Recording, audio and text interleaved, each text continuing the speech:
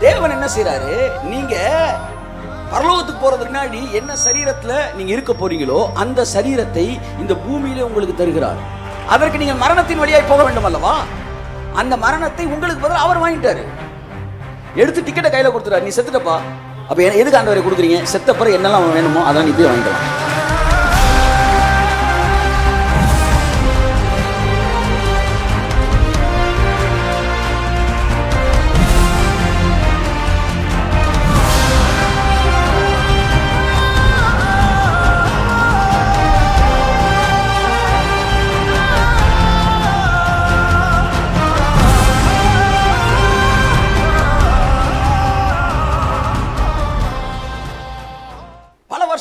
வருஷங்களா அந்த மறுரூபன்ற வார்த்தையை பேசிட்டு அதான் நம்ம கேம்புக்கெல்லாம் மறுரூபன்ற பேரெல்லாம் வைக்கிறோம்.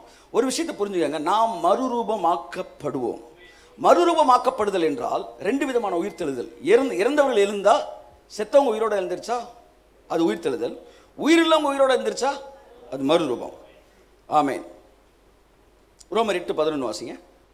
அன்றியும் இயேசுவை மரித்தோரிலிருந்து எழுப்பினவருடைய ஆவி உங்களில் வாசமாயிருந்தால் கிறிஸ்துவை மரித்தோரிலிருந்து எழுப்பினவர். உங்களில் வாசமாயிருக்கிற தம்முடைய ஆவியினாலே. சாவுக்கேதுவான உங்கள் சரீரங்களையும் உயிர்ப்பிப்பார். பார்த்தீங்களா நீங்க உயிரோட தானே இருக்கீங்க. ஆனா உங்களை உயிர்ப்பிப்பாராம். இது எப்படி இருக்கு? நான் உயிரோட இருக்கும்போதே என்னை உயிர்ப்பிக்கிறாரு. எதை உயிர்ப்பிக்கிறாரு? என் ஆவி உயிர்ப்பிக்கப்பட்டு விட்டது. என் சரீரத்தை உயிர்ப்பிக்கிறார். இந்த சரீரத்தை உயிர்ப்பிக்கிறதுக்கு பேர் தான் மறுரூபம். சாவாமையை நான் தரித்து கொள்கிறேன்.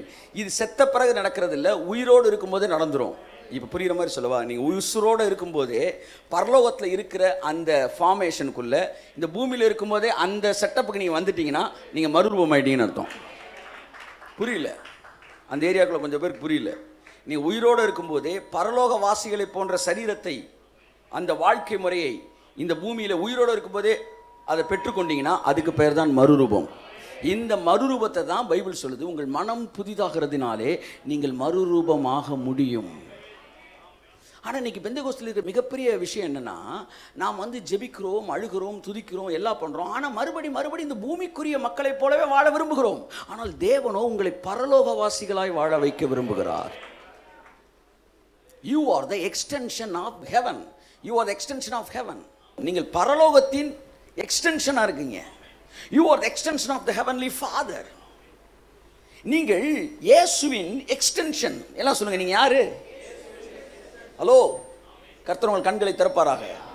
I am the extension of Jesus Christ amen. அதான் பவுல் சொன்னார் வாழுவது நான் அல்ல கிறிஸ்துவே என்னில் வாழ்கிறார்.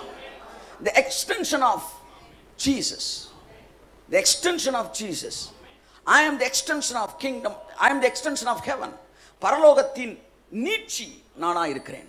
பரலோகத்தின் நீட்சி என்றால் பரலோக ராஜ்யம் என்ற அர்த்தம். பிரிட்டனின் நீட்சி பிரிட்டிஷ் ராஜ்யம். பிரிட்டனுடைய ராஜ்யம் எங்கே வந்துருச்சு?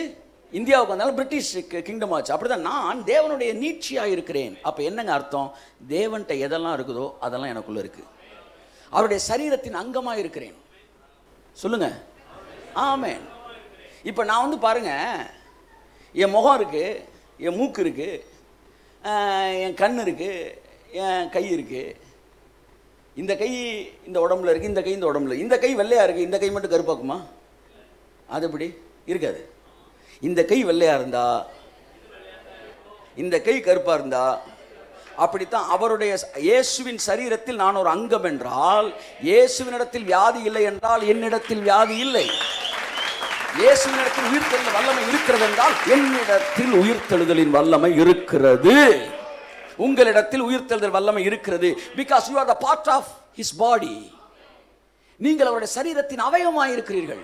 You are the extension of Jesus Christ அதான் பைபிள் சொல்ல நீ வெட்டி எடுக்கப்பட்ட கண்மலையும் நீ தோண்டி எடுக்கப்பட்ட துறவையும் கவனித்துப்பார்.